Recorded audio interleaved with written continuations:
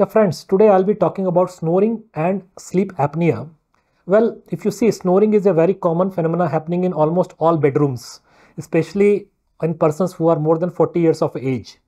And habitual snorers are at risk of certain health diseases or categories, including respiratory, neurological, and heart disease. Yes, it is true because snoring is passed off as a simple or lifestyle problem and it's just a, considered as a nuisance regarding the sound it produces.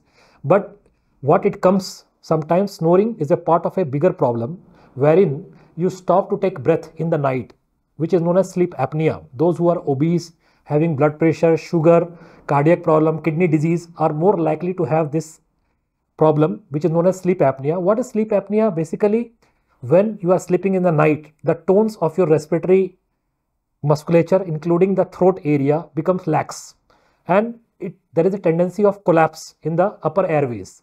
And momentarily from few seconds to up to 10 seconds your breathing can stop. And there is a lack of oxygen supply to the heart and brain where the risk comes.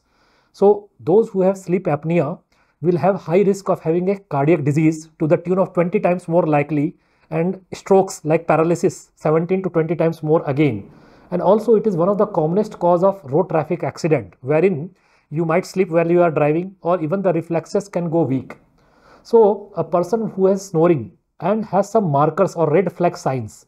What are these red flag signs? Basically person who has been snoring so as to as to produce discomfort to the sleep partner, waking up in the night with choking episodes, waking in the morning with a feeling of not having a fresh sleep the previous night and sleepy throughout the day, which includes taking naps after lunch or sitting and dozing sometimes. So these are the signs which says that it's not only plain snoring, but it could be a sleep apnea, which is a more dangerous scenario.